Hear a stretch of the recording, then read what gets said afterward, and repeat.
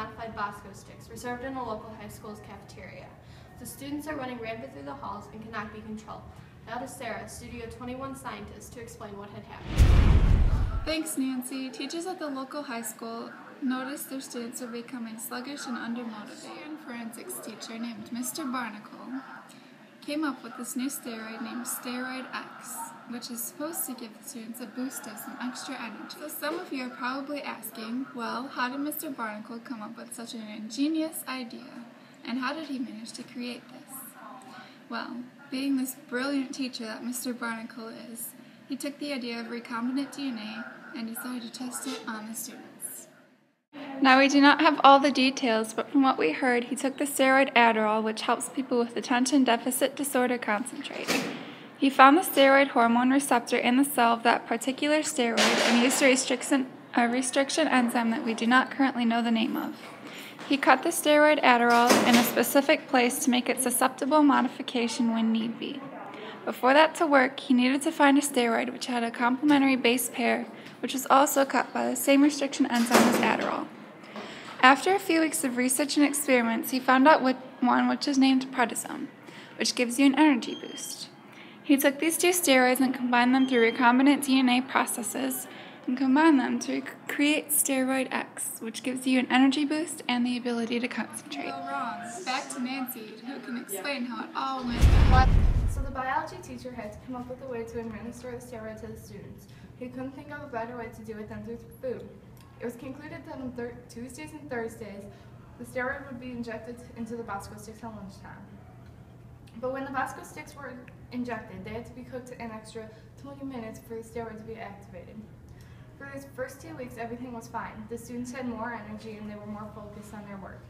Everything seemed to be better.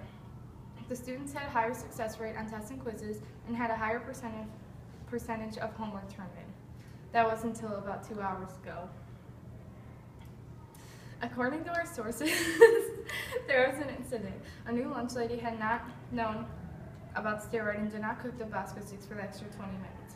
Because the steroid had not been activated, it had some unusual side effects. Inf infected children running rampant through the hallways, they are growing horns and foaming at the mouths.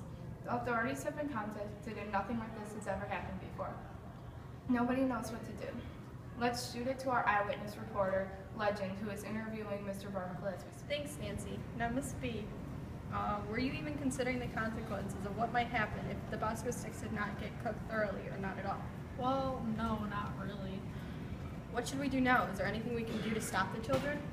I have watched the students and did some more research, and I have found nothing except that it is not life-threatening and all we can do is let it run its course. Any last words? I am so sorry for any inconvenience that this has caused everyone. Peace out. You have heard it straight from the horse's mouth. There is nothing we can do except let it run its course. Back to you guys in the newsroom. So, to my sources, the students have already begun to return to normal. Their horns are disappearing and they are starting to calm down. As far as, as for Mr. Barnacle and the lunch lady, their fate is still being determined on whether or not charges are going to be pressed for disorderly conduct and misuse of school property to create an, a medical drug and illegal distribution of the drug without parent consent. We will keep you up to date as this story progresses.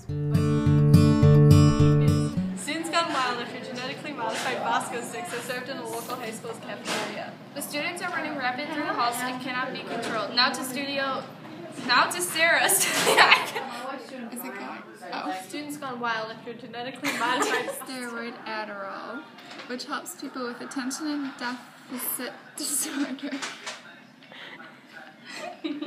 I must have gone wild if genetically modified Bosco sticks were served. so the biology teacher had to come up with a way to administer the steroid to the students. now we do not have all the details, but from what we heard, we took this. you got it yeah.